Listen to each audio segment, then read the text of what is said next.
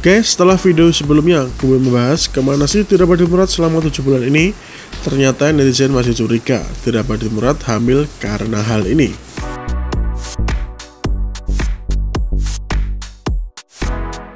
Kecurigaan jika Reba hamil muncul setelah dia jarang muncul selama 7 bulan terakhir ini.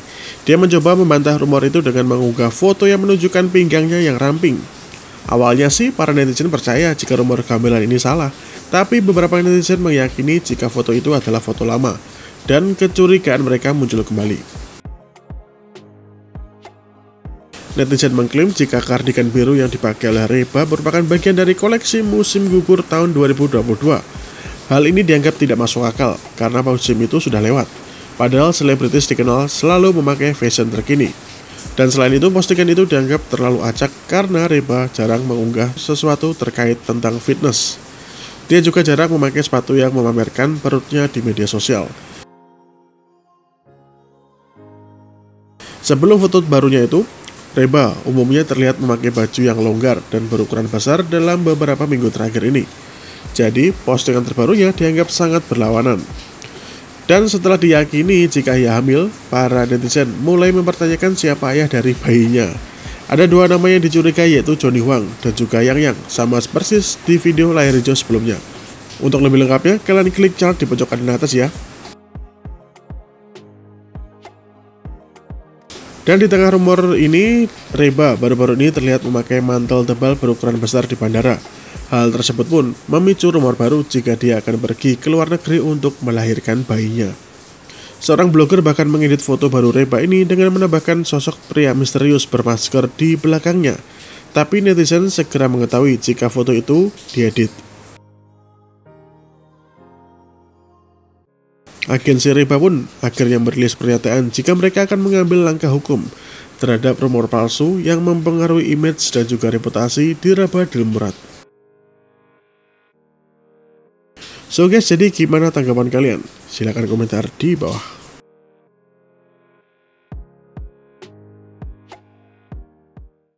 Guys, berikut ada tiga rekomendasi drama China terbaru yang tayang pada akhir bulan Desember ini dan tentu saja sudah ditunggu oleh netizen.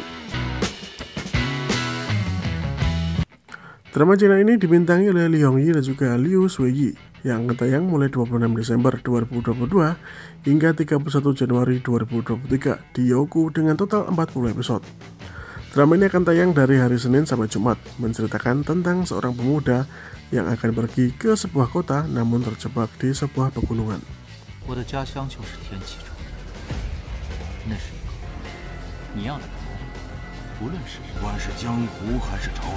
Dibintangi oleh Dylan Wang dan juga Chen Yuki, Anchan Love merupakan salah satu drama China yang tayang tanggal 27 Desember 2022 di iQIYI dengan genre romantis dan juga historical.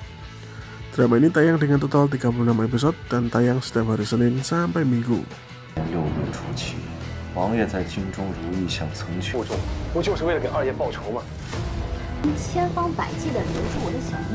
Song of the Moon diadaptasi dari sebuah novel bertajuk sama, karya dari Suke. Kini drama Song of the Moon adalah besutan dari sutradara Lin Jianlong dengan skenario yang ditulis oleh Miao Wenjing. Dibintangi sederet artis ternama Tiongkok seperti Vincent dan juga Solo. Drama ini sudah tayang sejak 15 Desember 2022.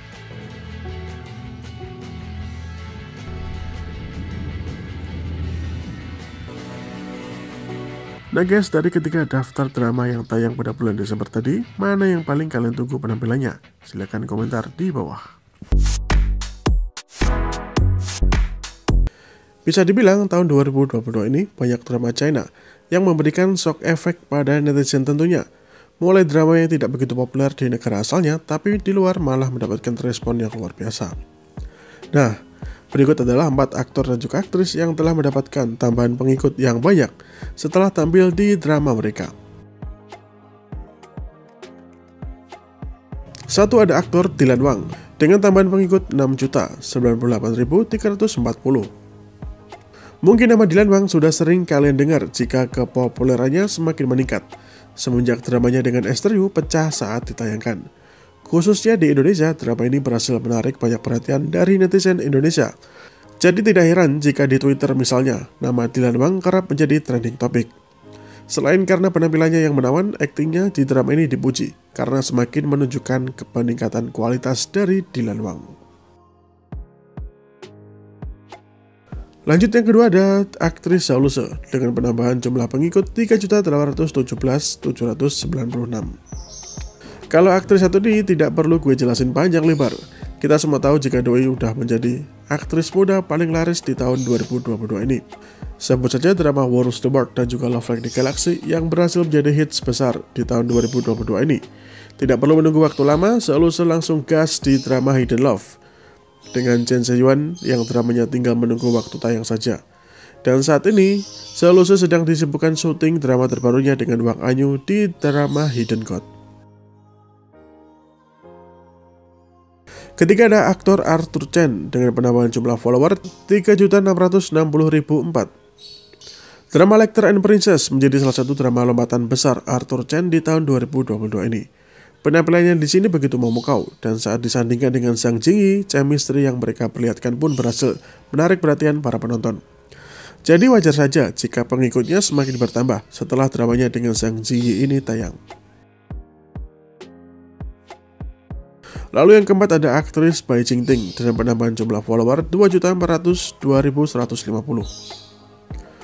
Drama Bai Jingting yang tayang di tahun ini adalah New Life Begins. New Life Begins merupakan salah satu drama China dengan rating yang tertinggi, di mana serial ini menceritakan tentang perjodohan para tuan muda dan kaya raya, sehingga para perempuan diharuskan berkumpul. Namun ada seorang wanita yang tidak berharap dapat dipilih, karena ia ingin hidup bahagia di kampungnya. Meski begitu, ternyata seorang tuan muda yang tampan justru tertarik terhadapnya.